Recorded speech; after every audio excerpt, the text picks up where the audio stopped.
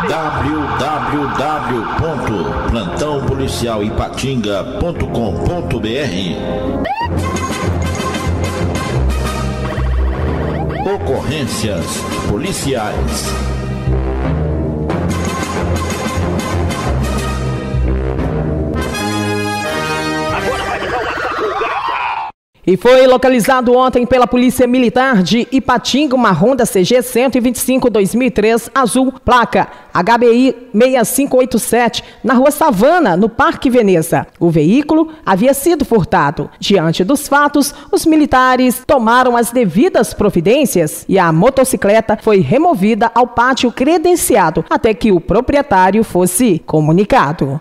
E o Centro Socioeducativo no centro de Ipatinga registrou no fim da tarde passada mais uma ocorrência. Segundo o relato das testemunhas, agentes do setor, os autores do crime, três menores de idade, um de 15 e dois de 16 anos, planejaram matar a vítima, um jovem de 17 anos, tendo um dos adolescentes lhe aplicado um golpe mata-leão e que passou a ser enforcado também com um lençol, enquanto o segundo autor fazia o espancamento agredindo violentamente a vítima. O adolescente de 15 anos que faz parte do mesmo alojamento, negou a participação. Inclusive relatou aos militares que foram acionados que pediu aos outros dois autores do crime para pararem com a violência. A vítima foi socorrida em estado grave ao Hospital Márcio Cunha, onde se encontra em coma. Diante do exposto, os menores infratores foram apreendidos pelos militares para a delegacia de polícia. E ontem, a Polícia Militar apreendeu dois autores na cidade de Ipaba por tráfico ilícito de drogas. J. Passos conversou com o Sargento Hugo, que detalhou o fato.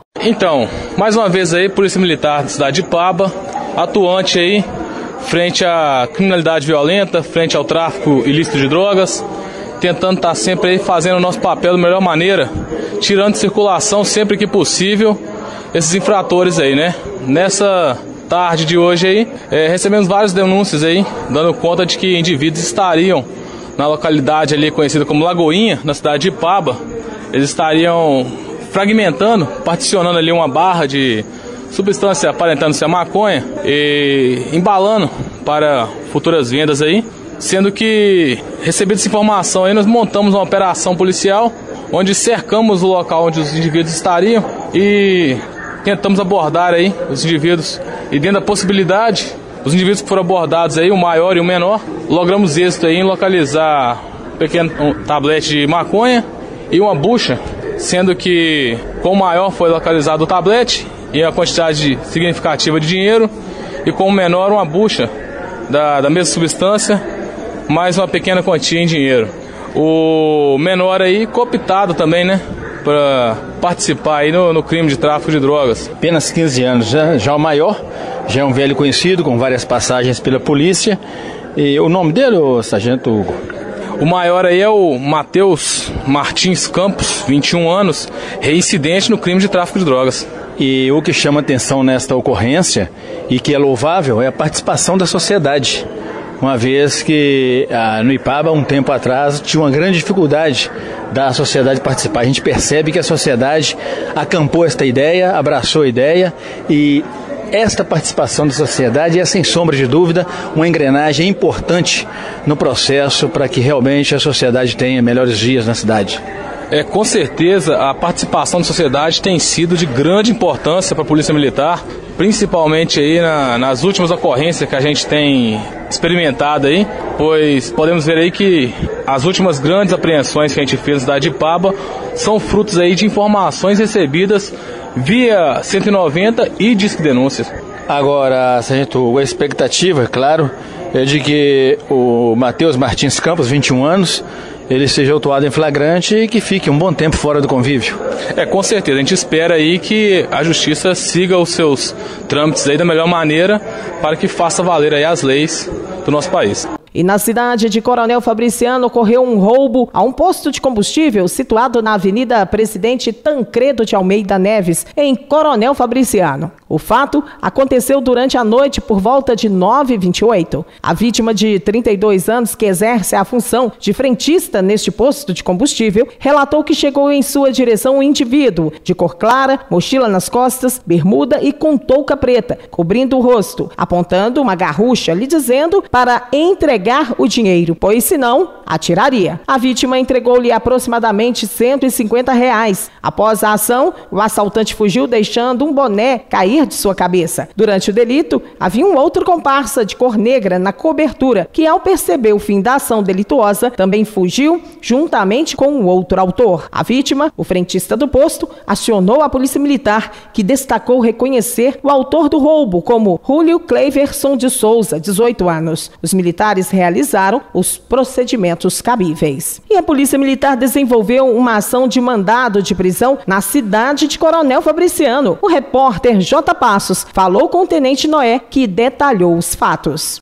É, mais uma vez, a população confiando no trabalho da, da Polícia Militar, fez ligações via 190, é, nos relatando a respeito de um casal atuante na prática de estelionato e furtos. Nesse caso, a informação era um pouco mais precisa, porque dava conta de qual veículo seria utilizado por essa dupla, a residência onde eles poderiam ser encontrados e a existência desse mandado de prisão. Ao consultar no sistema, foi verificada a existência desse mandato e a partir daí começamos a monitorar a residência, sendo que conseguimos é, efetuar a prisão do autor em casa. Esta residência, em qual endereço lá em Coronel Fabriciano, Tenente Noé, e o nome desse cidadão? O cidadão trata-se do, do Cleiton e a residência é localizada na rua Marfim, no bairro Bom Jesus, em Coronel Fabriciano. A participação da sociedade sempre uma engrenagem importante no processo, né, Tenente Noé? Quando ela participa de forma efetiva e de forma responsável, o sucesso é absoluto. Isso. É, como eu sempre friso, é muito importante essa colaboração da população e a população em si também está muito satisfeita com os resultados apresentados pela polícia, tendo em vista que esse serviço é em prol dessa própria sociedade que contribui com o nosso serviço. Então, mais uma vez, agradeço as ligações que foram feitas, todas de forma anônima. Não sei quem fez a ligação, mas deixo aqui o parabéns a toda a sociedade que contribui com essas informações e continua afirmando: informação que chega, a gente checa.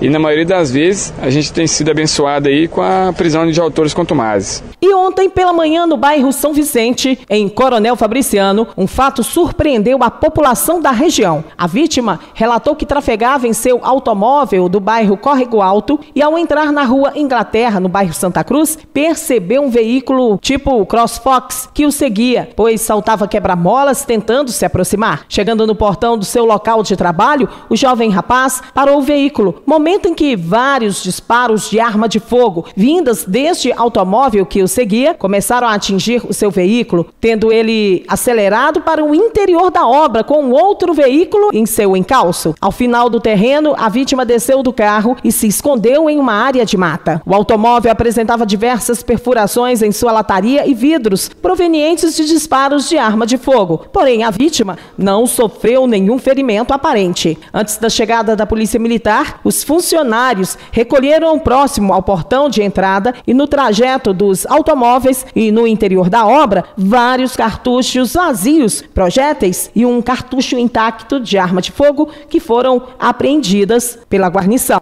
O local foi isolado, tendo a perícia comparecido também ao setor e, após realizar os trabalhos de praxe, recolheu no interior do automóvel da vítima um projétil e, no trajeto, seis cartuchos vazios. Após efetuarem os disparos contra o carro da vítima, os criminosos fugiram tomando rumo ignorado. A vítima não soube informar quais seriam os motivos do fato, nem tampouco indicar possíveis suspeitos. A motivação do atentado será investigada e os militares continuam o rastreamento.